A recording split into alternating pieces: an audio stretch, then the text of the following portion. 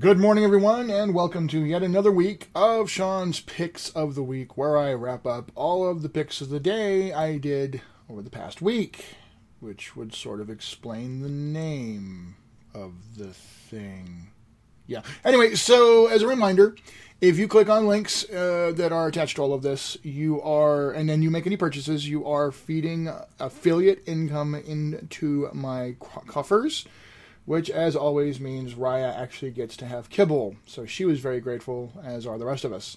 So, having gotten that out of the way, let's deal with what I called Water, Water Everywhere Week. And yes, totally inspired by the release of Oceanic Discoveries by my friend and partner at Evil Beagle Games, Michael Surbrook. So this is the latest entry in the Michael Surbrook Presents line. Oceanic Discoveries is a collection of strange and unusual things to find in the ocean it is his usual deep dive take on all kinds of cool things about gaming in an oceanic or large body of water type setting. And it includes the usual plethora of cool random tables to roll on, along with a bunch of other cool encounter type stuff. So if you've not checked out the Michael Surbrook Presents line, and especially the Discoveries uh, subline of books, uh, you should do so because there's a lot of really great and very well thought out and researched material to add to your various campaigns with a heavy focus on 5e support these days.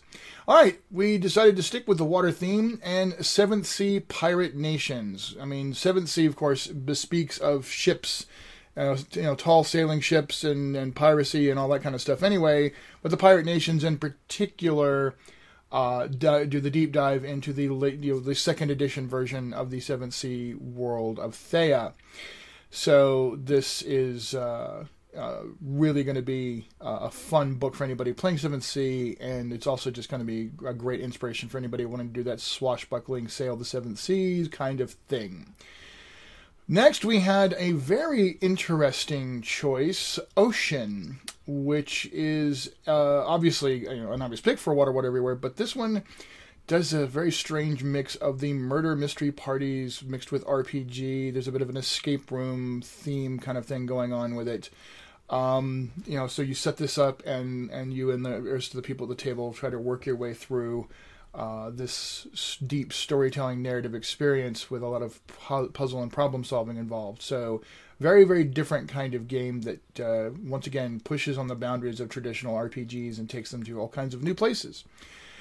Missed yesterday. Uh, Thursdays just are crazy for me. I'm just gonna be. I'll be miss a lot of Thursdays as it comes down to it. But uh, today was Oceans of Blood, part of the Monster Menagerie line.